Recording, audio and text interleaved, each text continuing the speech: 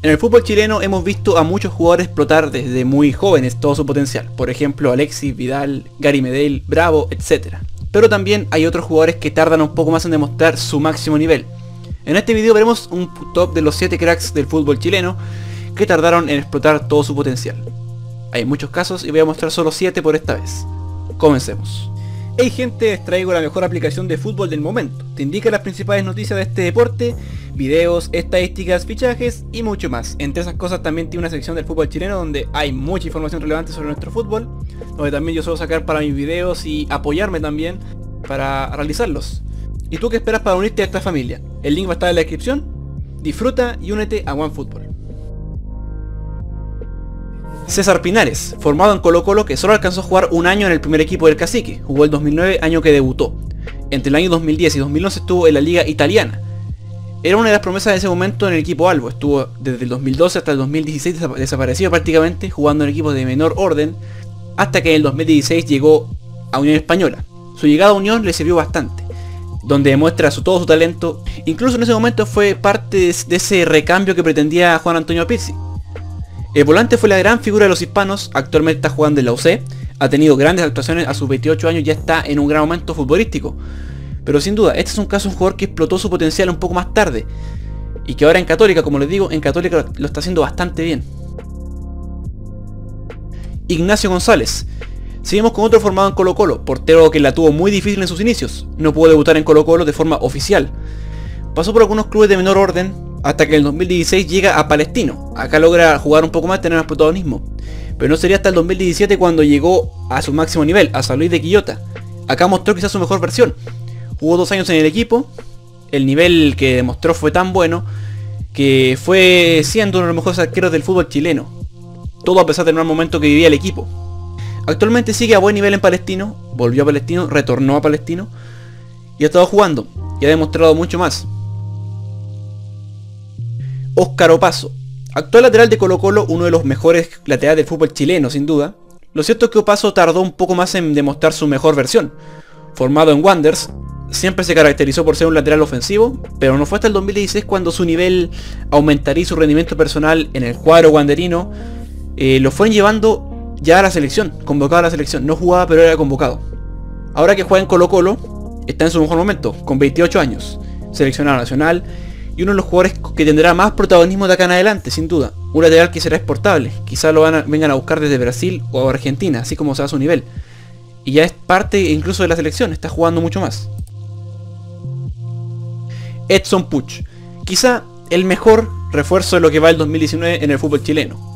La carrera de Puch fue creciendo poco a poco, jugó en equipos como Huachipato, Iquique o también la U pero cuando realmente comenzó a destacar mucho más fue en el 2015, con su buena actuación en Copa Libertadores en Huracán, equipo del fútbol argentino. Como dije, destacó en Libertadores y su gran momento lo vivió en el 2016 cuando jugó la Copa Centenario, que ganó con Chile. Y post Copa llegó al Necax. Y la rompió, fue elegido el mejor jugador del fútbol mexicano en el 2016, 17, no, no me acuerdo bien. Pero fue elegido el mejor jugador del fútbol mexicano. Actualmente el OC es indiscutido, sigue siendo la gran figura del fútbol chileno, es un jugador claramente distinto, con dotes especiales. José Pedro fue en salida, un caso que sin duda muy destacable. La carrera del Chapa también fue de menos a más, formado en la UC, pero en ese tiempo fue difícil que se ganara un puesto. Y ya en el 2013 ya jugaba por Colo Colo, en ese año empezó a ser un jugador más destacado, el mejor de Colo Colo por lejos. Y todo eso le valió una par de nominaciones a la selección. Ahí había explotado todo su nivel, su mejor versión. En el 2014 juega por Boca Juniors. Alternó entre la banca y titulares. No jugó tampoco tanto por ahí. Y para el 2016 llegó a la UC, regresó, retornó. Actualmente es un referente del equipo, es el capitán de la Católica. Y últimamente también en Copa Centenario le fue bastante bien. Y desde ahí ha estado siempre en las nóminas de selección. Es un jugador claramente que ha rendido. De los mejores que hay en el fútbol chileno actualmente. Esteban Paredes. Uno que a pesar de su edad sigue vigente. Paredes es quizá el máximo referente algo de los últimos años. Un jugador que le ha dado muchísimo al club. La carrera de Paredes fue de menos a más también. Siempre fue un goleador, pero no fue hasta el 2009 con su llegada a Colo Colo que Paredes explotaría todo su potencial con 29 años.